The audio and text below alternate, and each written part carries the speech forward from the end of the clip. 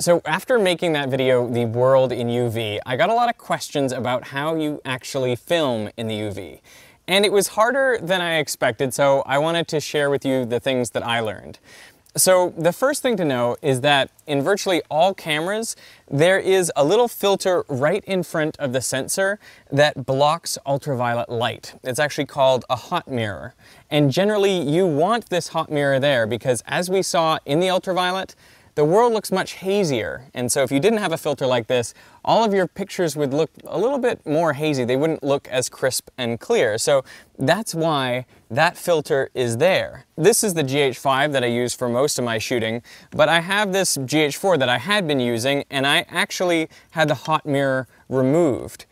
Now there are ways that you can do this yourself. There's some DIY tutorials on the internet, but I did not do that. I sent this camera away to have that hot mirror professionally removed. And I'll actually put a link in the description to the people who I had do it. It's not cheap, but I didn't want to destroy the camera. And when you remove the hot mirror, there's a few different options of what you can replace it with. You could replace it with a UV only pass filter. And I thought about doing that, and it would basically just transform your camera into a UV-only camera. But uh, I actually planned to do that, but once I sent it in, I actually thought, well, I'd prefer for this camera to be able to shoot any types of light. And so I had them replace the hot mirror with a, uh, a filter that doesn't block any light. Ultraviolet, infrared, uh, UV, it all gets through. So this is now my full spectrum camera and I haven't really explored its full spectrum capabilities yet, but uh, this is what I used to shoot that UV video. Now once you have a camera that can receive ultraviolet light, well, then you need a lens that can pass ultraviolet light. And most of the lenses I have, made up of a whole bunch of pieces of glass, will absorb that ultraviolet light. So if you look through them with the uh, UV camera, you actually can't see through these lenses. Almost all lenses are opaque to ultraviolet light. So that's annoying and it's a real challenge. But there are some old lenses which are uh, pretty, pretty small and basic. Uh, this one is a 35 millimeter. It's a very old and not a particularly good lens. But one advantage it has is that there's not really enough glass in here to block a lot of the ultraviolet light.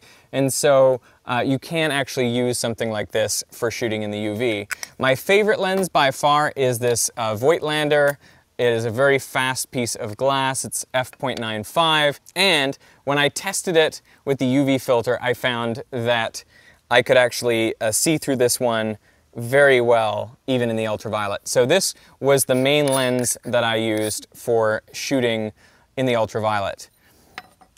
Now, once you have a lens that will pass ultraviolet, you need to get a filter that will pass the ultraviolet.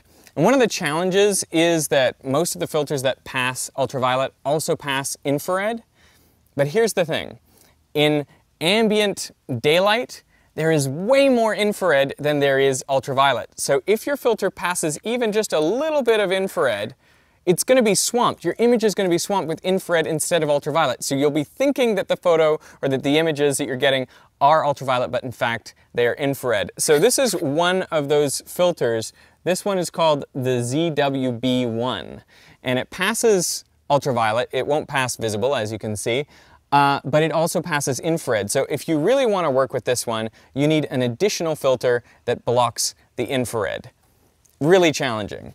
So what I decided to do was go for a very expensive filter that I know only passes ultraviolet. And this is a filter typically used on a 2-inch telescope. It's called the Baader U filter, the 2-inch. And this cost something like three or four hundred dollars. So this was not cheap, but I wanted to be 100% sure that all of the light I was recording was ultraviolet and I wasn't getting any of that uh, infrared contamination. Now, what I realized when trying to shoot in the ultraviolet is that the major challenge you have is that there really isn't very much ultraviolet light around at all. When light reaches the Earth from the sun, about 10% of it is ultraviolet, whereas 40% is visible light and 50% is longer wavelengths. But the Earth's atmosphere, and in particular the ozone layer, does a very good job of filtering the UV. It filters out about 77% of the ultraviolet light. Most of that is at the shorter wavelengths. So by the time ultraviolet light reaches the ground, it's only 3% of the electromagnetic radiation uh, that is here on the ground compared to about 43 or 44% visible light. So there's less than a tenth as much ultraviolet light as there is visible light. And this makes it incredibly difficult to shoot. I mean, think about that. It's effectively like even broad daylight is a low light situation in a way uh, when you're shooting in the ultraviolet. And that's why I loved uh, this lens because it can allow in so much light, f.95, and uh, that is what enabled me to get such great shots in the ultraviolet. You'll notice if you compare the ultraviolet shots to the visible light shots that the ultraviolet shots have a much shallower depth of field. And that's because I basically had to shoot completely wide open at f.95 to get enough ultraviolet light to make a really nice image. Um, so that, that is, I think, one of the main challenges of shooting UV is that there actually isn't that much UV around to shoot. So I hope that gives you an idea of how you can go about uh, shooting in the ultraviolet if that is of interest to you. And maybe in future I will take advantage of the full spectrum nature of this camera and we'll see a video called The World in the Infrared.